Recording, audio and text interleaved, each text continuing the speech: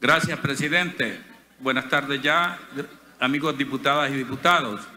Era presidente para solicitar una modificación de agenda en el sentido que se recomiende al Ministerio de Hacienda eh, incorpore fondos para la ciudad de Santa Rosa de Lima. Explico, he hecho un estudio desde el primero de mayo que llegué acá con el Ministerio de Medio Ambiente y nos hemos dado cuenta de la calidad de vida que realmente los, siendo una ciudad tan hermosa como Santa Rosa de Lima, populosa, en un momento se le ha llamado como la capital del comercio y en las condiciones que realmente se encuentra, presidente, eh, un rillo que ya casi se secó.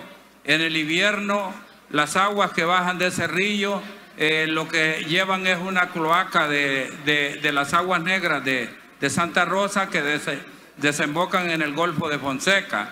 Y eh, las aguas grises ahí en el verano es un mal olor permanente por durante cantidad de años. Entonces yo le pediría hoy esta, esta mediodía que a todas las fracciones eh, legislativas se incorporara a esta, a esta iniciativa, ya que contamos con el estudio eh, que se hizo con la ex ministra de Medio Ambiente, Lina Paul, y el señor Ibarra, y aquí menciona los pasos a dar para convertir a Santa Rosa en una gran ciudad. Así es que esta tarde, perdón, diputado.